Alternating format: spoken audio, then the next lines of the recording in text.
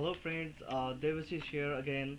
In this tutorial, we are going to learn about language fundamentals like constants, variables and keywords. Alphabets, numbers and special symbols are combined to form constants, variable and keywords. Constants are referred to fixed values that the program may not alter during its execution. Constants can be any of basic data types like an integer, floating, character, and string constant. String constants are enclosed with double quotes. A string contains characters that are similar to plain character escape sequences and universal characters. Variable. Variable is a container or storage area to hold data. To indicate the storage area, each variable should be given a unique name. Variable names are just a symbolic representation of a memory location.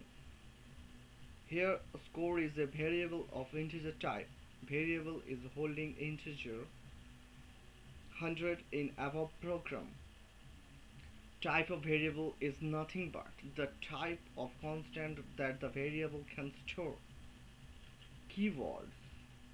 By using keywords, we can construct the meaningful statement.